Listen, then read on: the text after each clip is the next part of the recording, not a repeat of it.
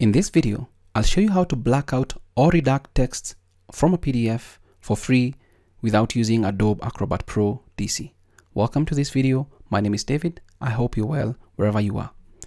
Here's the PDF I need to redact some uh, sections from. Let's assume you want to redact this particular title or maybe anything else inside here. So how can we do it without using Adobe Acrobat Pro DC? We can redact or black out the text using an application called LibreOffice Draw. And this is uh, an application I've covered on the channel a couple of times. So I'll leave a link to LibreOffice, the whole suite, but this is LibreOffice Draw.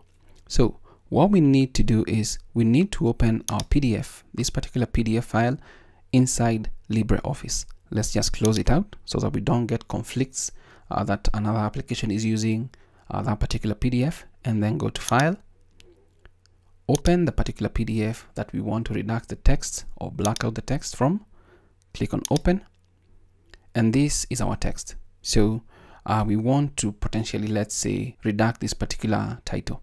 And these are things that you see in classified files and uh, the reason for actually doing reduction of uh, PDFs or blacking out the text is to protect sensitive information. So this is how you do it inside LibreOffice Draw. So I'll begin by first of all uh, magnifying this from 61% to about 100%. Let's just zoom in. And once we zoom in, because I want us to see uh, the particular section where we're going to be uh, reducting clearly.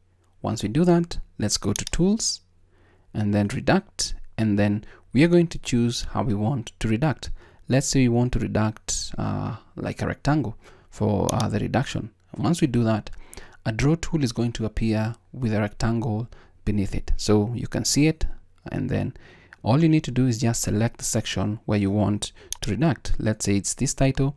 I'll just draw over it and I'll hold the left click key and, and move to the end. Once I do that, by default, uh, the reduction is uh, using this particular uh, light gray color. So one thing that you can do is that you can click uh, on this and then you can use the handles to move the text where you want it to be so that uh, it moves clearly uh, or so that you can actually ensure that it covers the section that you want it to cover. So let's say we want it to cover up to that particular section. Next up, we need to change this particular color. So to change this, just click on this and then come to this particular section. Let's go to the area and then look for the fill color. There are different options here, a gradient, hatching bitmap, a pattern, whatever you want. If you click on pattern, you see what you get. And then you can change the percentages, uh, sphere, zigzag, whatever. But let's work with fill color. Let's just click on color and then select the color to be a solid black because we want to black out this particular text. And once we do that, there is the option for this particular transparency for this particular solid.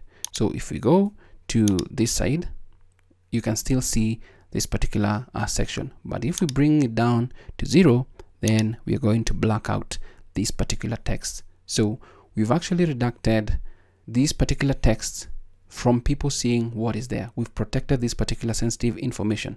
So if that is all you wanted to do, that is the only process you wanted to do, remember to save your file. Let's go to file then go to export as export as pdf export and then rename.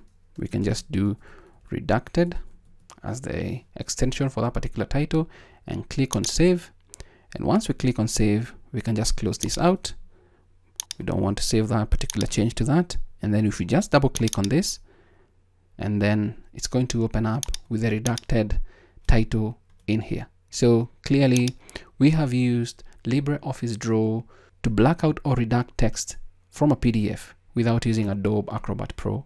So that's how easy it is using free tools to redact text from a PDF. Thanks for watching. My name is David. Until next time, stay safe and never stop learning. Thanks for watching.